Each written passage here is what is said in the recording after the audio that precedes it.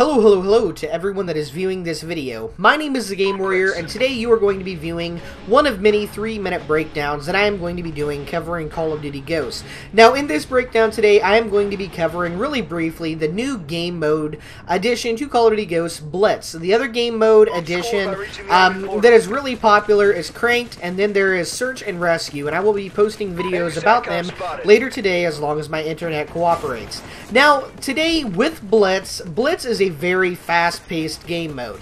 Think of it as, in a way, Hardpoint, except that when you go towards the enemy's capture point or their flag or their domination point, as you see right here, as soon as you touch it, your team gets a point, and you get teleported back to one of your spawns back on your side of the map. And you do this, and the enemy team does the same way. They jump on your objective, get teleported back to their spawn. This game mode is most likely the fastest game mode up there with Cranked in terms of people running around the map, not really camping much, because if you camp, your team is going to lose. And it is a very fast-paced, objective game mode. Now, since this is a fast-paced game mode to where your entire objective is to get to the other side of the map as possible, the main perk that is required is going to be Marathon. Marathon is absolutely essential. Um, you can choose whatever perks, other perks you want with that. And then I would also recommend to be going with either a silenced assault rifle or submachine gun.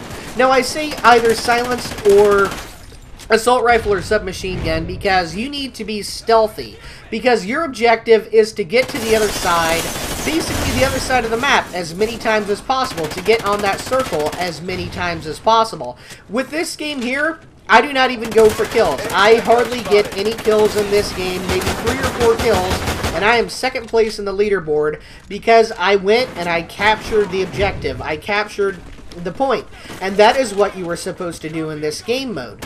So if you are running by uh, the enemy spawn and you happen to see three or four guys, and they're all running straight ahead, but only one of them sees you. If you take them out with a suppressed weapon, the chances of the enemies turning around and killing you aren't that high. However, if you are firing anywhere in the spawn without a suppressed weapon, you will appear on the mini-map, and you are going to be taken out. So, uh, once more, just a quick, uh, brief recap of everything. This is a highly fast-paced, objective game mode. I highly recommend the assault rifle or submachine gun with suppressor attachment. Um, as of right now, I don't know the weapons well enough to give uh, in-depth details over which weapon is the best weapon for this game mode. However, submachine gun or assault rifle, suppressed weapon, marathon for your perk, it is very essential. Or for you defenders that want to sit back and camp, you know, uh, ignore everything I said and uh, defend the objective with your favorite gun. So guys, my name is Game Warrior. This is a three-minute breakdown. Uh, there will be more concerning Cranked, as well as Search and Rescue, and then other breakdowns over perks, kill streaks, and much, much more over Call of Duty Ghosts on my channel. Subscribe if you want to see more. Thank you and have a good day.